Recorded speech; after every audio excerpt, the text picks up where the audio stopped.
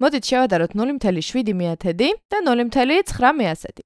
სხვადასხვა გზით შეგვიძლია ეს ამის გაკეთება, მაგრამ მოდით ახლა ამ შემთხვევაში მივყვეთ თითოეულ ციფრს, დავიწყოთ ყველაზე მარცხენა ციფრით, ანუ დავიწყოთ აქედან ერთეულების ადგილიდან. ვიწყებთ ერთეულების ადგილიდან და ვადარებთ ამ ამ რიცხვის ერთეულების ადგილს, ამ რიცხვის ერთეულების ადგილს. მაგალითად, თუ შევადარებთ ამ ორ რიცხვს, აქ ორივეგან გვაქვს 0 ერთეულების ადგილას, რაც პრინციპში ბევრს არაფერს არ გვეუბნება. ახლა ვინასვლებთ ერთი ციფრით მარჯვნივ და ვნახულობთ ათეულების ადგილს. აქ გვაქვს 7 ათეული, როდესაც აქ გვაქვს 0 ათეული. რაც გვეუბნება იმას, რომ ეს რიცხვი არის უფრო მეტი, ამიტომ სვამთ უტოლობის ნიშანს, გვინდა რომ სიმბოლო უფრო დიდი რიცხვის მხარეს იყოს ღია და უფრო მცირე რიცხვისკენ კონდეს წვერი. ესე იგი 0.7 მეათედი არის მეტი ვიდრე 0.9 მეასედი. შეიძლება იმაზეც დაფიქრდეთ, რომ მაგალითად 9 მეასედს აქვს ცხრიანი მეასედების ადგილას, როდესაც 7 მეათედს საერთოდ არ აქვს მეასედების ადგილას არაფერი. თუმცა აქ შეგვიძლია დავწეროთ 0 და გვექნება 70 მეასედი. და აქედან გამომდინარე შემიძლია გითხრათ რომ 9 მეასედი სხვაობას არ გვაძლევს იმ იმ იმ მიზეზით რომ ის მეასედების ადგილას დგას, ანუ სულ რომ 10 მეასედი იყოს, აქ მაინც არ იქნებოდა 70000-ზე მეტი, რადგან ის მეასედების ადგილას დგას.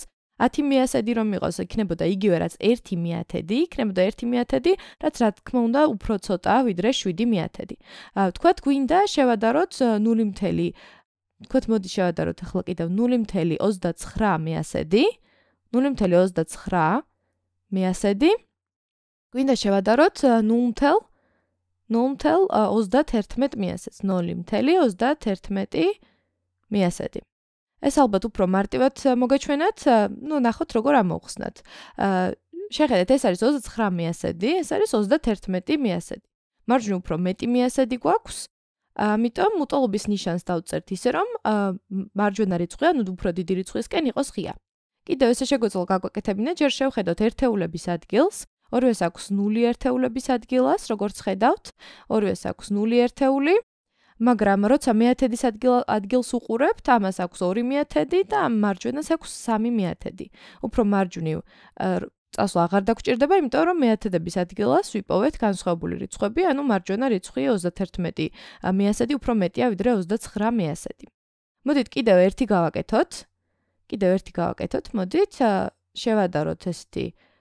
შევადაროთ 0 შევადაროთ 0 6 6 მეათედი, შევადაროთ 0 6 მიასეთს, რომელია უფრო დიდი რიცხვი, იგივე უნდა გავაკეთოთ, რაც აქამდე გავაკეთეთ, დავიწყოთ.